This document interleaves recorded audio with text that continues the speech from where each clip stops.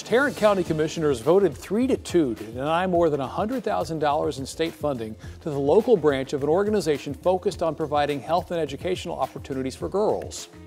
I cannot vote to give taxpayer money to an organization that wants to destigmatize abortion, seems anti police, teaches that men can have periods, and thinks it's okay for children to change their sex. Some strong words from Tarrant County Judge Tim O'Hare, who says he takes issue with the group's ideology. This despite the head of the local chapter saying those issues are with the national organization, not the local group. The county has provided funds to Girls Inc. since 2007. Critics say Judge O'Hare is guilty of the same partisanship he's accusing the group of.